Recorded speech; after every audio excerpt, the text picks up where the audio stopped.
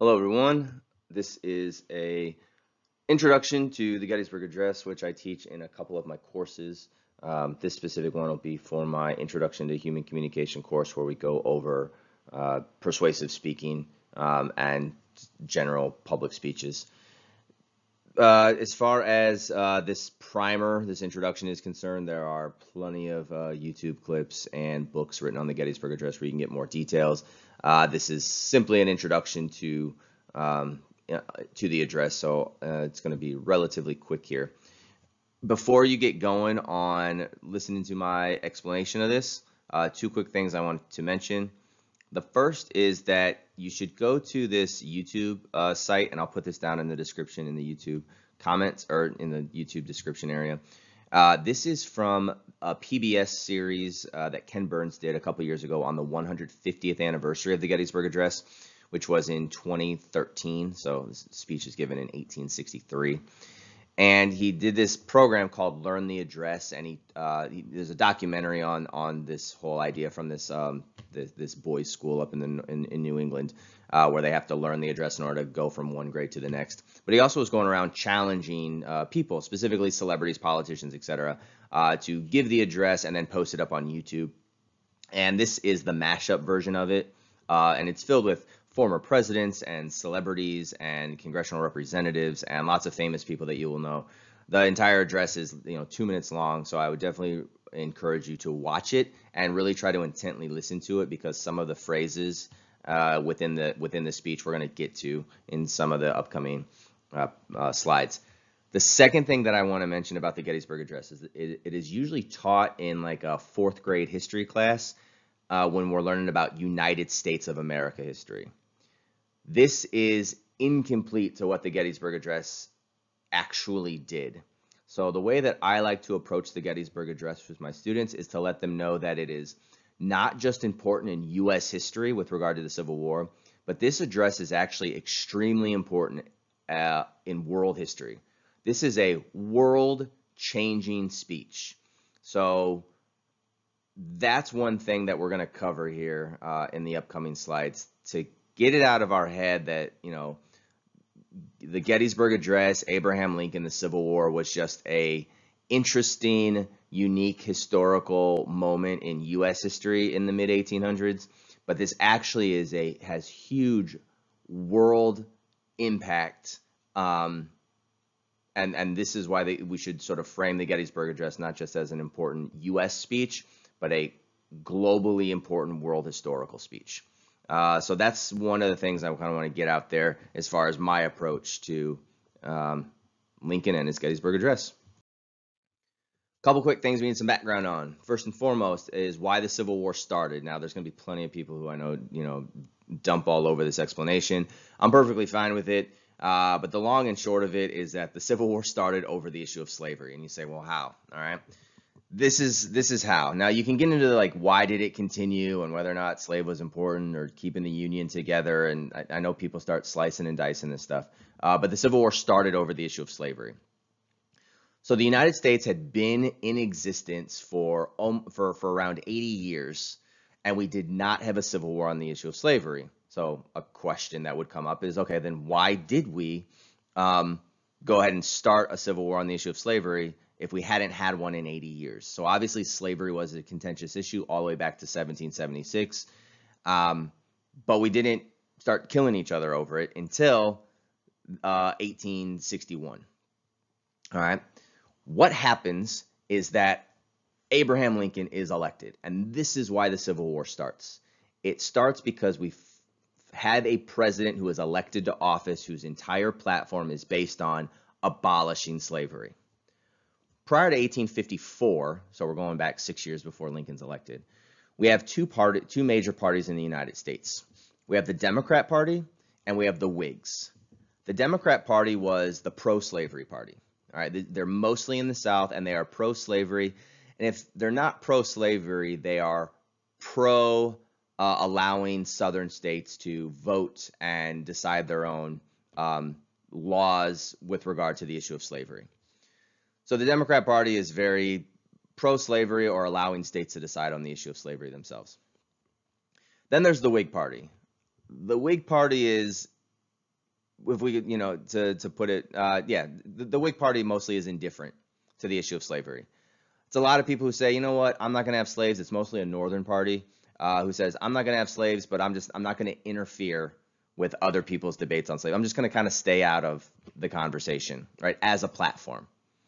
All right. Um, Lincoln does have a famous uh, set of debates with a, uh, an individual named Stephen Douglas, uh, a senator from Illinois. Uh, this gets into things like uh, when we're expanding westward into places like Missouri, Kansas, and Nebraska um, on the issue of whether or not these new states who are now a part of the Union should be free states or they should be slave states. For those who follow college basketball, there's a big back and forth between Kansas and Missouri. The basketball teams, Kansas is known as the free state because they voted way back when uh, to not have slaves, and Missouri, um, they th- continue uh, to throw it in Missouri's face uh, that Missouri decided to have slaves uh, when they were when they entered into the Union. Stephen Douglas was a member of the Democrat Party. He was a senator from Illinois. He argued that states should be allowed to choose uh, whether or not they have slaves. Abraham Lincoln comes along and he debates Douglas for his Senate position. Um, and Lincoln says, no, slavery should not be allowed. Lincoln was saying, you know, slavery in the South, it's going to go away eventually, but as we add new states to the United States of America, those new states should not be allowed to have slaves at all.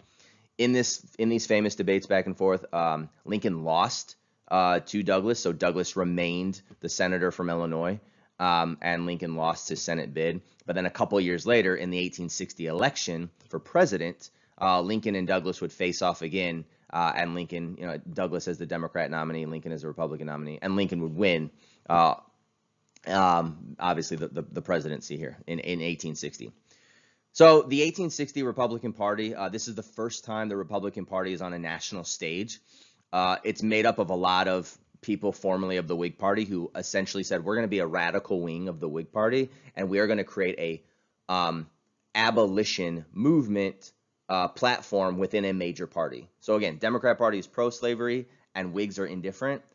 There's a lot of Whigs who are like, no, we need a stronger stance. And so we now we have the Democrat Party that is the slave party, pro-slave party, and uh, the Republican Party comes along and says, no, the first line item on our agenda is abolishing slavery. The whole reason we're going to exist as a major party is to abolish slavery, full stop.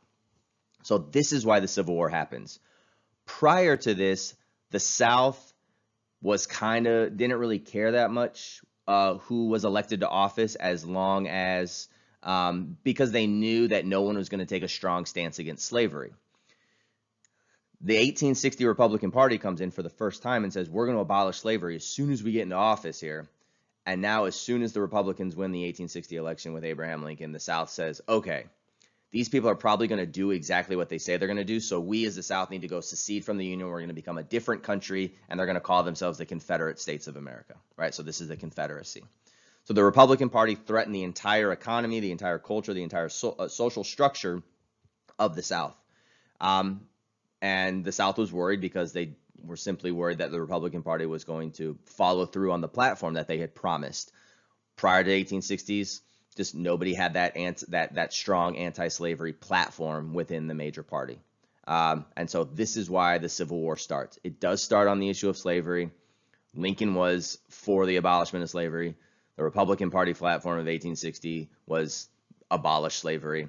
Um, and prior to that, nobody, you know, there wasn't a lot of buzz about ab- abolishing slavery. It wasn't as strong. All right. So this is why the, the, the Civil War happens, and there's a lot of other ins and outs about keeping the Union together, and you know Lincoln's personal beliefs on African Americans and, and, and slaves. That is tangential to the fact that the Civil War started over the issue of abolishing slavery. Battle of Gettysburg. Uh, the Battle of Gettysburg happens over a four-day period, July uh, 1st to the 3rd of 1863 the Civil War started in the spring of 1861. So Lincoln is inaugurated into office March of 1861. Um, inaugurations used to happen in March. Now they happen on January 20th. Um, so he's he's elected in 1860, but then he's inaugurated uh, and he's put into his presidency in March of 1861. Almost immediately afterwards, we have the first shots um, and the Civil War begins.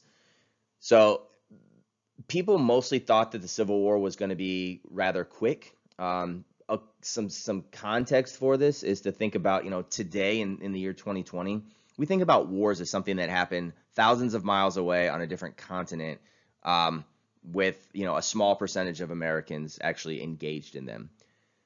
The Civil War was something that happened on this tiny sliver of eastern coastline, right? And everyone was involved, right? This was a war that was literally fought in backyards. All right. So it was something that was like, was just front and center of everyone's life constantly. So people thought it was going to be over rather quickly, but now the Civil War has drug on for two years. So when people initially got engaged in the Civil War, they said, no, we're going to abolish slavery and we're going to keep the Union together. The South, you aren't allowed to secede here. We're going to, you know, keep the keep all these states together here. But then Gettysburg comes along. And now we're two years into this war. Everyone's involved. It's bloody. It's horrifying. And Gettysburg uh, is becomes the most the, the deadliest battle here with 50,000 people dead over the course of just a few days. 50,000 people lost their lives at the at the Battle of Gettysburg over just a couple of days. So now we're in this position 2 years into the Civil War where a lot of people, we'll stick with the North for a moment. A lot of people in the North are just saying, "You know what? Is this worth it?" Maybe we do want to keep the Union together, so maybe the compromise is go to the South and tell the South that they can keep their slaves right? So now we're kind of getting a shift in the narrative from abolishing slavery to we just want to end the war. And if the quickest way to end the war is allowing the South to keep their slaves, people are getting tired of the Civil War, right? It dragged on for a lot longer than they expected, and a lot more people are dead than they expected. And they just say, you know what? Let's capitulate, tell the South to keep their slaves, end of story. And um, we'll go back to being a union and we can stop killing each other. Lincoln is not satisfied with this, right? So this is where like Lincoln's strong leadership comes in. Lincoln says, all right, I'm going to go to Gettysburg. They're going to have a memorial ceremony on November 19th, 1863, just a couple of months after the Battle of Gettysburg. Now, if we can think about sort of old time, you know, battlefield situations, we're talking about a lot of dead people, right, out in the middle of a field in summer heat. That's a long cleanup, right? with you know people collecting bodies and people burying bodies. Um, so people are going out to this field, and there's still the you know atmosphere of a very bloody battle in the air. They have this memorial service uh, for those who had lost their lives in, in, in, Gettysburg, and Lincoln is going out there to give uh, a a speech to encourage people to continue fighting in the war. Again, people are tired of it. It's gone on for way too long. Lots of people are dead. And Lincoln needs to step up and say, look, I know that this is awful, but we need to have some sort of memorial that remembers the dead. And we also need to remember why the dead have, have, have given their lives. And if we quit now and we capitulate and say, you know what, South, you're allowed to keep your slaves, Lincoln saying like these dead, you know, would have died in vain, right? Because for the last two years, we basically had a war where nothing was accomplished because at the end of it we just said hey you know what why don't you keep your slaves in the south we won't have slaves in the north and um, there was no reason to have any of this fighting for the last two years so lincoln's going out there to give a rallying speech to continue on with this war in order to achieve the initial means of, of ending slavery and keeping the union together all right uh, just a quick some numbers here. The Civil War in total happened between uh, April of 61 to April of 65, where Lee surrenders to Grant at Appomattox. Officially, it's May of 1865 before we get all the paperwork done. We'll talk about this. This is an important sort of distinction. We'll talk about this near the end. Approximately 620,000 Americans died, right, from both the South and the North. Um, in today's numbers, as far as today's population is concerned, that would be the equivalent of about 7 million Americans today. And again, this happened within the United States. This wasn't 7 million Americans being killed overseas. This was 7 million. This would have been the equivalent of 7 million Americans being killed within the, the United States in this period of just four years. Briefly, this guy named Edward Everett. Uh, he was sort of the, you know, political newsman of the day.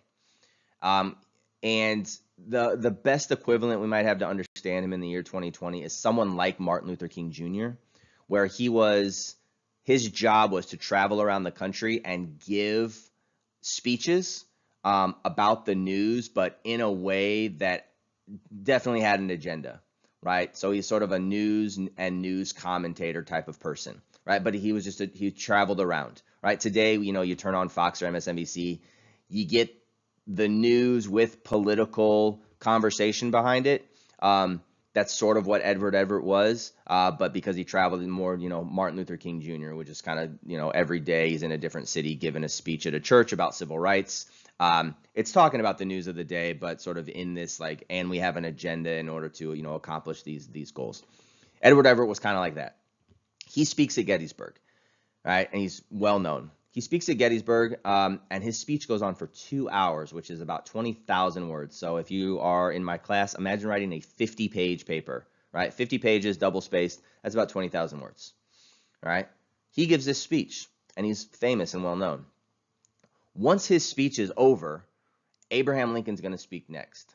So now we have to think, you know, what's the mentality of people um, when they're out there in this memorial service, right? So they've just been standing or maybe sitting for two hours listening to Edward Everett give a speech. He's the opening act, and now we're gonna have Lincoln come up, who's gonna be like the big act. Like that's what everyone's, you know, why everyone's there to listen to the president talk. So Edward Everett stops, and in between his speech and Lincoln's speech, there's probably a little bit of, um, you know, wrestling around, right? People are kind of getting up, they're stretching their legs, or getting something to eat, they're using the restroom, right? They're kind of moving around a little bit, and they know that they have a little bit of time because they think, you know what, Edward Everett just gave a two-hour speech even if I miss the first few minutes of Lincoln's speech to go use the restroom or go get a sandwich or whatever it is I need to do, right? He's going to be talking for a while. So I'm not going to miss all of Lincoln's speech. So there's this like, you know, just rustling around in the crowd. People are kind of getting comfortable. Nobody is really ready for Lincoln's speech when it starts because no one thinks they have to be ready for Lincoln's speech when it starts because they think Lincoln's going to speak for a while.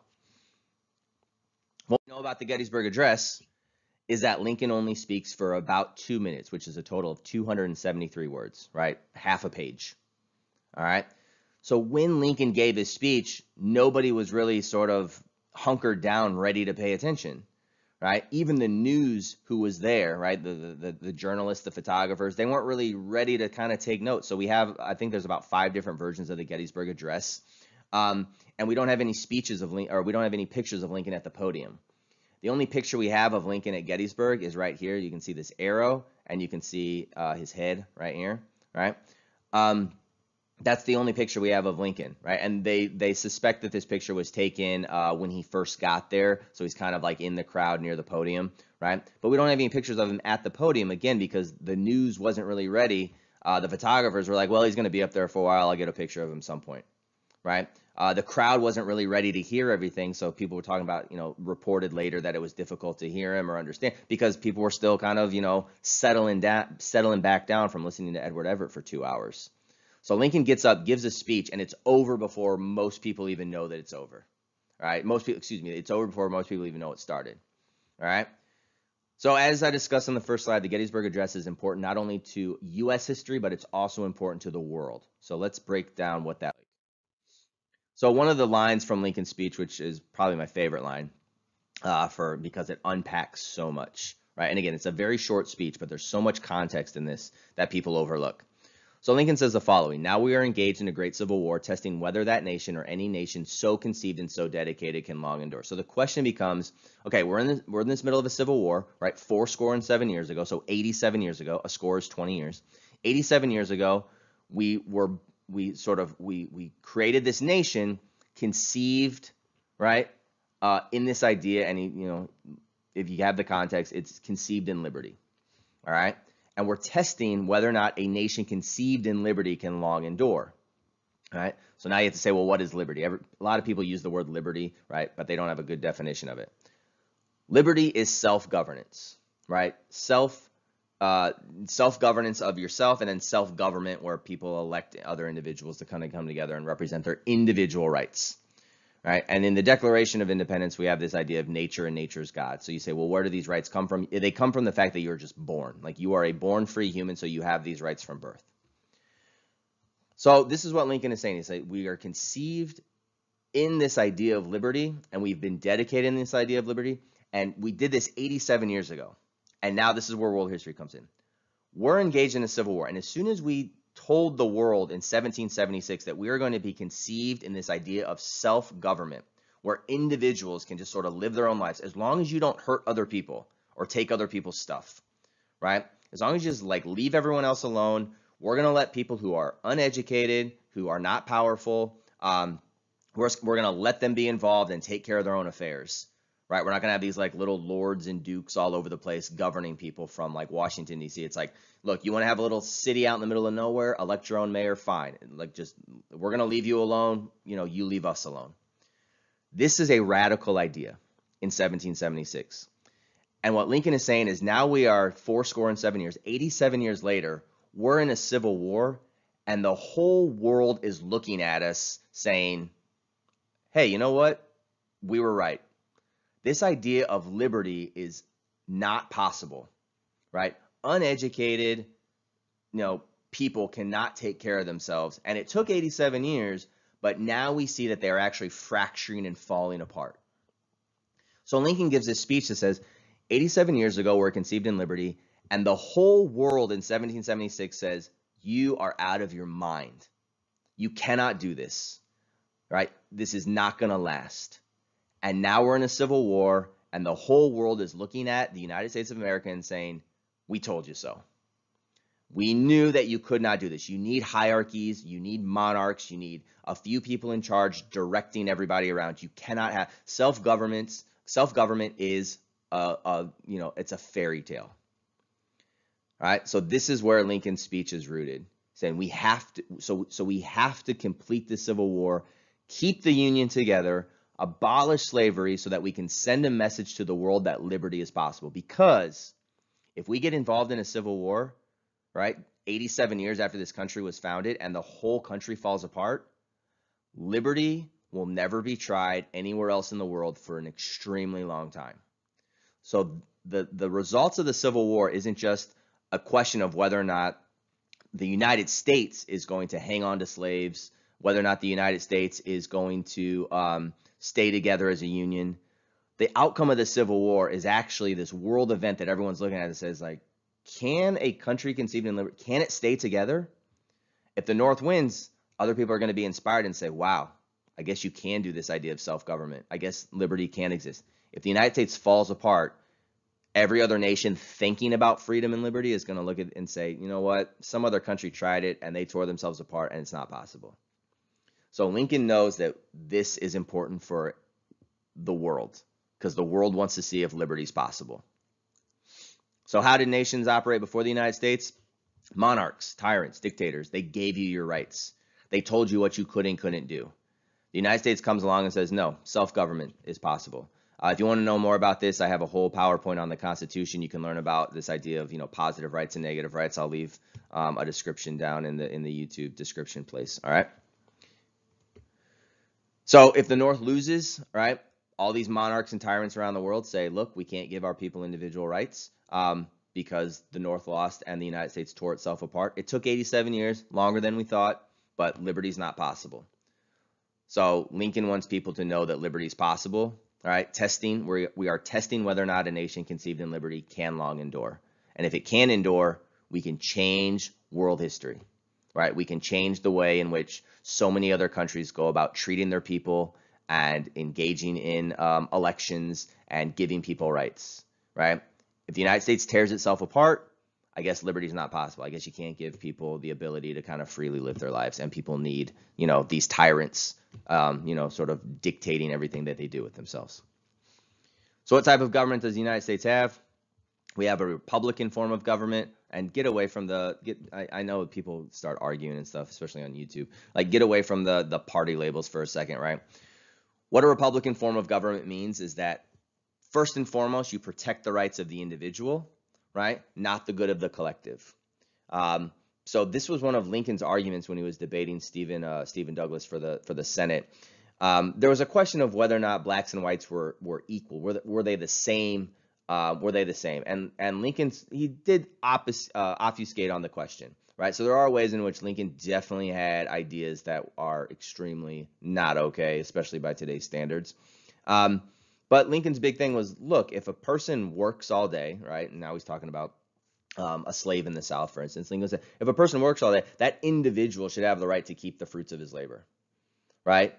So he sort of like kind of, you know, hemmed and hawed around the question, like, are blacks and whites equal as far as like human beings? Um, and he's sort of turned and just said, look, I'm not going to answer that question, but what I do think is that uh, if someone works all day, they should have the individual right to keep the fruits of their labor. And so this is why, you know, slavery is awful, right? Um, so this is what a republic form of government does. It protects the rights of the individual, no matter what. So you, so you have Stephen Douglas who comes along and says, well, you know, if Missouri wants to take a vote and they all democratically say, hey, we all vote uh, for slavery to exist, um, that's the good of the collective. And Lincoln says, I don't care.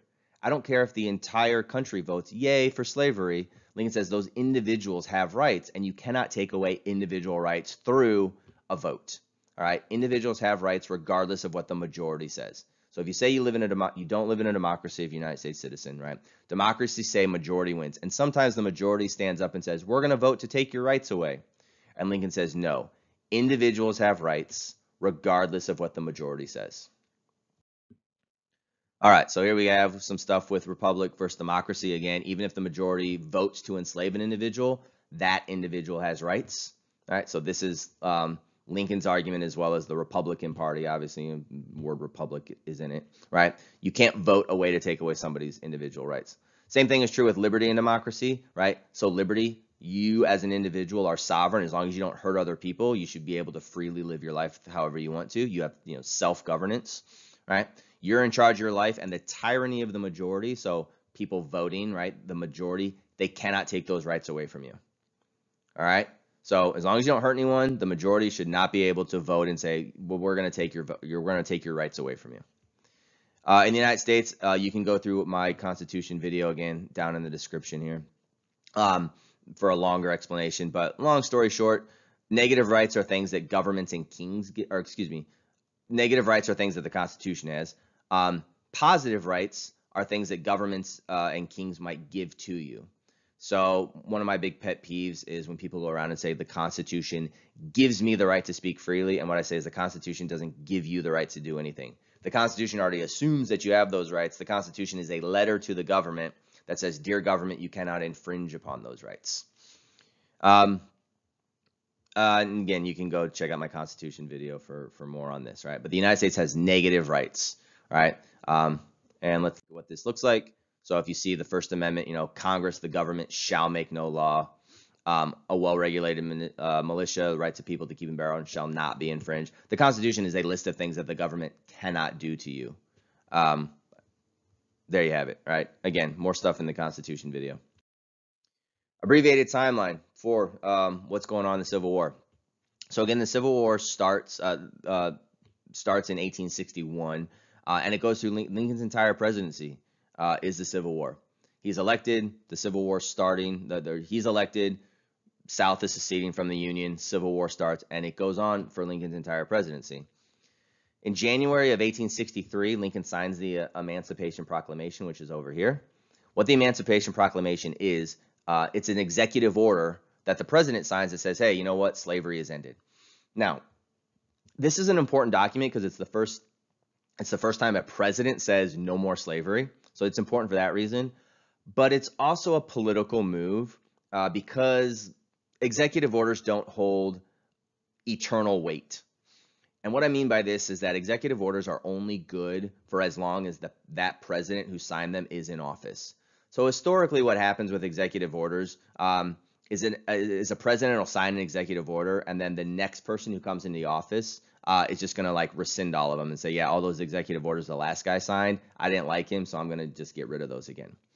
So the Emancipation Proclamation, it's important that a president puts his signature on a thing that says no slavery. But people also know that the Emancipation Proclamation might not hold a lot of weight in uh, a couple years from now when the next when when if Lincoln's not reelected, if a if a Democrat president comes into power uh, in 1865. So executive orders are only good for as long as the, the person who is in charge uh, is in office. All right. Um, we'll come back to this momentarily. In November of 63, Lincoln gives the Gettysburg Address, right? So Lincoln has done two controversial things now prior to his reelection. He signs an Emancipation Proclamation that says, I'm going to free all the slaves, right? And there's a question of, well, if the next president comes in and takes this executive order back, does that mean all those free slaves now have to go return to slavery? So this is an open question that's going to be difficult to answer after the next election. Lincoln also gives the Gettysburg Address, which again is a rallying cry. Everyone in the North is like, let's go home. We're tired of this war. And Lincoln says, no, we have to stay the course. We're a nation conceived in liberty, and we are on a world stage right now. And the entire world is looking at us to figure out are they going to tear themselves apart or are they going to stick together? And if the South wins, if we become two different countries, the United States and the Confederacy, um, or if we capitulate and say, you know what, we had this war, and the South you can keep your slaves, and the North won't have slaves. Lincoln's like, there was no reason to have this war at all. You know, tens of thousands of people have died already at Gettysburg. Hundreds, hundreds of thousands are going to die before this thing is over, and the whole world is going to look at us and think that we're a big joke. Lincoln says we have to stay. So he has sort of recommitted to staying engaged in the Civil War, even though so many people in the North don't want to be in the Civil War anymore. So free the slaves and stay involved in the war in a war that's very unpopular. Lincoln's done a lot of very um, made some some very hard political decisions uh, that he's going to stand by. A year after his Gettysburg Address, he's reelected. So this is where Lincoln's like, all right, I put everything on the line.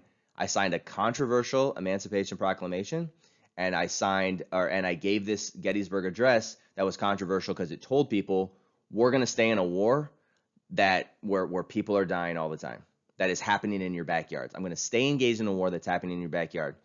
And people reelected him and said, "All right, you made two controversial decisions. They were very hard decisions, but I guess you're going to get reelected and we support those decisions." So Lincoln takes this as an opportunity to say, I guess the people are behind me. I guess the people also want these things. So we're going to keep pushing forward even harder on this issue of abolishing slavery and winning the Civil War. All right. So uh, in January of 65, so um, he's he's been reelected, but he hasn't started his second term again. His second term officially starts in March at the second inaugural. All right. But in January of 65, uh, he gets the House of Representatives to pass the 13th Amendment. So now the Emancipation Proclamation, the executive order, becomes permanent. The 13th Amendment abolishes slavery. All right. Um, so the Emancipation Proclamation is now permanently in, uh, engraved in the 13th Amendment, and it says, you know, no slavery is allowed in the United States. So now we have a question: if we get the Confederacy to come back into the United States, now the Confederacy has to agree to the rules of the Constitution, and we have this new thing in the Constitution called the 13th Amendment that's going to say no slaves. All right. So now bringing the country back together, North and South. Um, it's going to be even this stronger sort of no slavery. There's there's not even an opportunity now. At the Gettysburg Address, Lincoln could have said, you know what, keep the slaves in the South, no slaves in the North, and we'll just end the war. Now we have finalized no slavery in the South. So if we do get the country back together at the end of the Civil War, the South is going to have to come back and they're going to be like, oh crap, they wrote a bunch of new rules into the Constitution, and one of those rules is no slavery. Right. So now it's not even a debate um, it's not even yeah it's, it's not even this sort of like negotiation as to whether or not slavery is going to be allowed um, once the 13th amendment passes and then finally all right and this is where i talked about on a few slides ago where um, uh, on april 7th all right so let's go back here on april 7th of 65 general lee of the south surrenders to general grant of the north surrenders at appomattox all right so at this point the war is sort of de facto over all right a week later, on April 14th, Lincoln is assassinated. All right, and he's assassinated by this guy named John Wilkes Booth. Who I'm sure you've heard from fourth grade, you know, social studies class. John Wilkes Booth is a Southern sympathizer, right? Like the South will rise again. He's one of those guys. He is motivated by the fact that Lee just surrendered. So again, I, uh, back on like the first slide, I said like the Civil War is not officially over till May. So what happens is Lee surrenders April 7th, and John Wilkes Booth has this idea in his head. He's like, Well, the war's not officially over yet. So if I can go and assassinate Abraham Lincoln, right? And there's there's this conspiracy to take out Lincoln's entire cabinet, vice president, secretary of state, all this other kind of stuff. But stick stick with the basics here. Lee surrenders on April 7th. John Wilkes Booth says, "Okay, if I can assassinate Abraham Lincoln, maybe that'll be motivation for all of these Southerners to get back engaged with the Civil War because the paper we haven't signed treaties yet." So that's what that's part of Booth's motivation. Lee failed us. General Robert E. Lee failed us as a leader. I'm going to go in, I'm going to assassinate the president, and that is going to reinvigorate the South. The South will rise again, kind of stuff, get those people back on the battlefield to keep engaged in the Civil War because we officially haven't lost it yet. Um, I, again, we, we finally signed the paperwork in, in May of 65, right? So that's Booth's motivation is like keep the Civil War going, even though our general has surrendered. Um, it's not a done deal yet. This is like one last Hail Mary pass to kind of keep the South going. Lincoln is shot on April 14th uh, at Ford's Theater, uh, and then he dies a little after 7 a.m. Uh, the next morning on April 15th. Um, that that's when he died. So that's why I have two different dates here for his assassination. He shot on the night of the 14th. He officially dies uh, a little after 7 a.m. Uh, on the 15th.